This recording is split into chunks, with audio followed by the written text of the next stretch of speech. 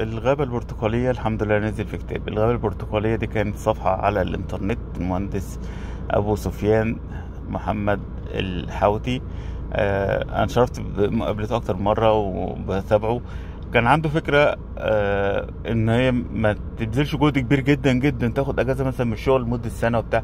لا اعمل خطوات صغيرة كل يوم. الخطوات الصغيرة دي على مر مع مرور الوقت هتبقى قفزة رهيبة. فالكتاب هو ما ما كانش آه، تفرغ تام. لا ده كان كل يوم بينزل زي ما انت شايف كده بينزل مثلا مرة أو اتنين نفس الفكرة.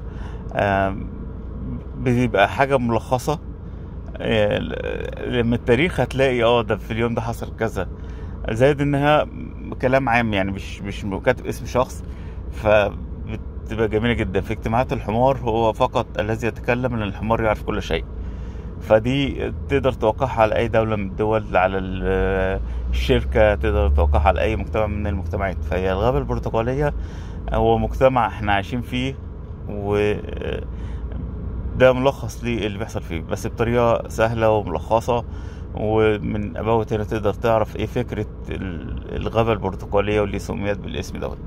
كتاب جميل جدا في معرض الكتاب إن شاء الله يعجبكم.